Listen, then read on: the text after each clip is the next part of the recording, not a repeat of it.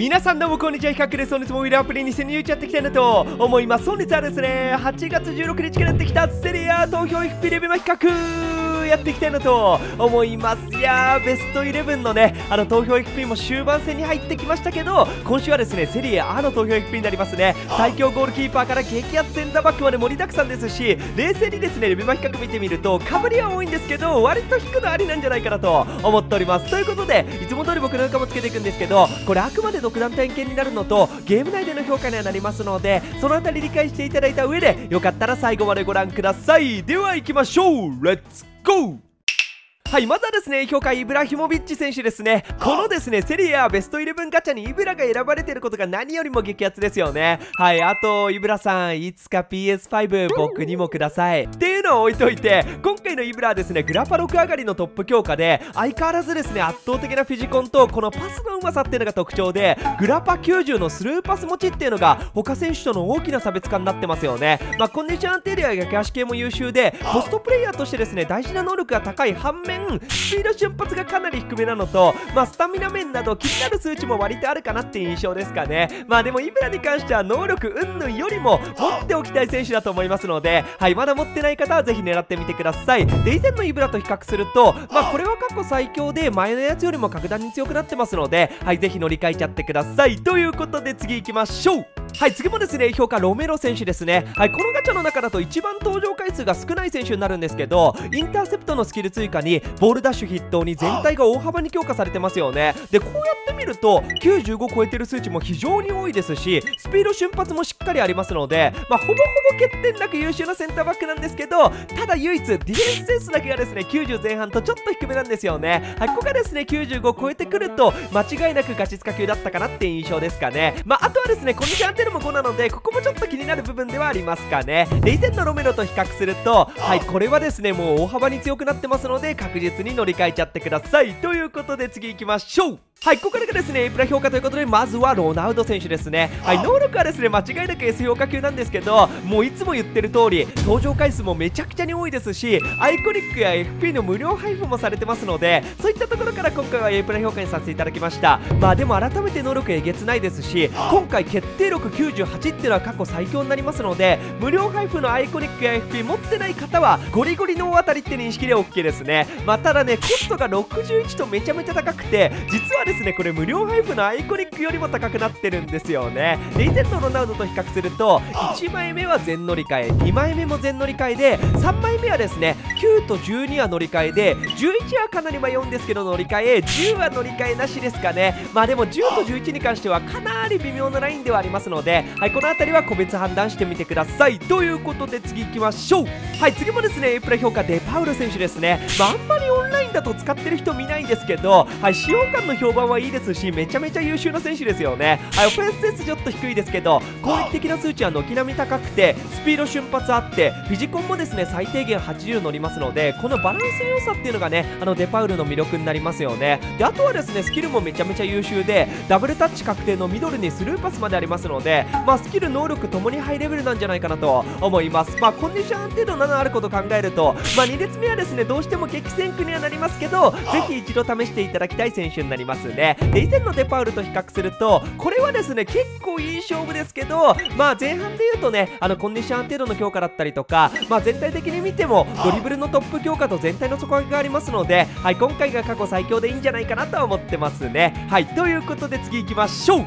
はい次もですね A プラ評価夏芝さんの相棒ルーカクですね。はい大台突破の10回目の登場ということで個人的には10回出てるの結構驚きましたね。もっと少ないかなってなんとなく感覚では思ってたんですけどはい今回はですね能力強化もそうなんですけどスキルが2つ追加されたんですよね。でこれねミドルシュートだけだったらよかったんですけどまあシザーズも追加されてスキル追加ができなくなってますのでこれは結構マイナスかなとは思いますね。まあ、ただ相変わらず能力はめちゃめちゃ優秀で圧倒的な得点能力に99カンストのフィジコンそれでいてスピードもですね今回96突破してますのでとにかくえぐい能力値ですよね。まあ空中戦も非常に強いですしストライカーとして完成された能力なんじゃないかなと思います。まあチェレフチェンコのトップ起用とか個人的には結構ハマったのでぜひその辺りで使ってみてください。でこちらがですね同じボックスストライカーのファンバステンとの比較ですね。まあワンパ持ちもありますしオフェンスセンスからプレースキックまでは圧倒的にバステンなのでいやーバステン恐ろしい能力力士だなとは思いましたけどまあでもスピード瞬発やですねフィジカル面アグレッシブネスなどは補正ありでもがっつりルカかかってますし改めてですねこのスピード瞬発とフィジカルのこのレベルでの共存っていうのはめちゃくちゃ魅力的だなと思いましたね。で以前のルカクと比較するとこれ3枚での比較になるんですけど、はい、基本的には過去最強の能口で良さそうですかね。まあたださっきも言った通りですねスキル追加ができなくなってるのは明確にマイナスでありますのでまあ例えば過去版にダブルタッチとかスーパーサブこの辺りがついてる場合は正直そのまま使う形でいいんじゃないかなとは思ってますかね。はいということで次行きましょう。はい次もですね A プラ評価シュクリニアル選手ですね。このガチャで言うとクリバリとかドンナルンマに注目が行きがちなんですけどシュクリニアルもですねなかなかにすごい能力してるんですよね。このディフェンス能力とフィジコン見ていただきたいんですけどボールダッシュが98でディフェンスセンス99アグレッシブネス99フィジコン99あるんですよ。いやこの圧倒的王者感素晴らしいですよね。まあその分ですねスピード出発は少し物足りないところはあるんですけどこのディフェンス能力に関してはマジで全センターバックの中でも最高級になりますね。で以前のシュクリニアルと比較してもこれもですね過去最強で強くなってますのではい乗り換えちゃってください。ただね僕前回のアイコンかなり好きなんですよね。いやーって感じですごいかっこいいのであのこのアイコン見ちゃうとちょっと乗り換え躊躇しちゃう自分がいますね。はいということで次行きましょう。はい次もですね A プラ評価ミリンコビッチ・サビッチ選手ですね。まあサビッチはですねコンディション安定がちょっと不安の部分はあるんですけど2列目の中でも珍しい能力傾向を持つ選手で191センチと超大柄なのに加えてフィジコンがですね95ありますのででかくてゴリゴリいける2列目なんですよね。まあその上で足元系も非常に高くてワンパ持ちにパスも上手くてある程度得点能力もありますのでまあ瞬発がですね80届かないので若干重さは感じそうですけどそれ以外はですねすごく魅力的な能力なんじゃないかなと思います。まあそれこそね僕が使ってるドミンゲス監督の ST とか割といけるんじゃないかなと思いますのではい今週試してみようかなと思ってますね。でこちらがですね2列目からの飛び出しの比較なんですけどやっぱりですねフィジコンはずば抜けて高いのと足元系数値もですねこのメンツでも遜色ないレベルで高いですよね。であとはこう見るとスキルでライジングミドル持ってるのとキック力が98と圧倒的なのも大きな武器にはなってるんじゃないかなと思います。まあただやっぱり課題はスピード瞬発ですかね。はいそれ以外はですねほぼ欠点なく優秀な能力なんじゃないかなと思いますで以前のサビッチと比較するとはいこちらもですね迷う必要なく過去最強なのではい絶対に乗り換えてくださいということで次行きましょうはい次もですね A プラ評価バレッラ選手ですね個人的にはこのガチャで一番欲しい選手なんですけどボルコン7上がり他数値が全て4上がりしてさらにですねスルーパスとピンポイントクロスの追加されてますのでいやーこれ強化度で言えばこのガチャ最強なのでちょっとこれバグ強上げちゃってもいいんじゃないかなと思いますまあキル追加枠が空いてることなんかも考えると完璧なスキル追加になってますよね。まあ身長が低いので若干当たり負けは気になりますけどスーパーサブ状態であればフィジコンも85超えてきますし攻守のバランスが相当レベル高くなりますのではい個人的にはかなり完成された能力値だと思いますね。まあそもそもねあのボックス2ボックスでスーパーサブっていう超希少性なんかもありますので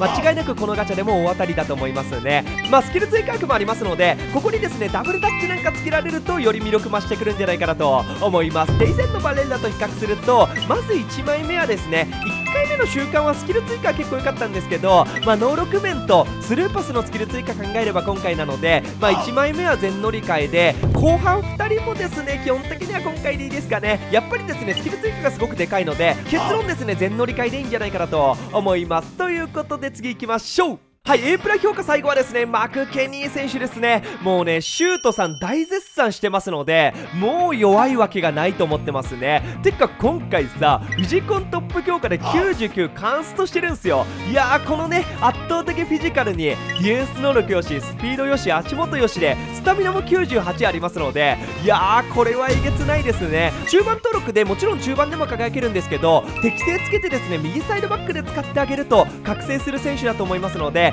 ぜひサイドバックで使ってあげてください。でスキル追加もできますのでワンパやピンポイントクロスあたりがつけられるとより強くなるんじゃないかなと思います。でこちらがですね無印の右サイドバック起用想定ということでゾブニンとがっつり比較してみました。守備能力やですね瞬発などはゾブニンですしスキルに関してはやはりゾブニン優勢なんですけどただマクケニーもですね身長フィジコン空中戦では大きく勝ってますのでめちゃくちゃいい勝負ですよね。まあどっちもですね無印の右サイドバックとしては間違いなく最高峰でありますのでまあ僕みたいにですねあのゾブに当てられてない方とかであればここでマッケニーがですねまあ引けば当たるっていうのはめちゃくちゃ嬉しいんじゃないかなと思います。で以前のマッケニーと比較するとはいこれも過去最強ですかねてか過去最強ばっかっすよね。総合値もですね初の95突破してますのでこれは乗り換え乗り換えって感じですね。はいということで次行きましょう。はいここからがですね S 評価の2人になるんですけどまずはドンナルンマ選手ですね。来年からですねパリ・サンジェルマンでプレーするドンナルンマがおそらく今作最後の登場になるんじゃないかなと思いますゴールキーパー系オール99カンスト。